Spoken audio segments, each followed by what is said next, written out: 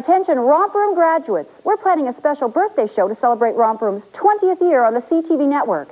If you appeared on Romper Room before 1980, we'd like to hear from you. Please call us at CKCO 578-1313, extension 329.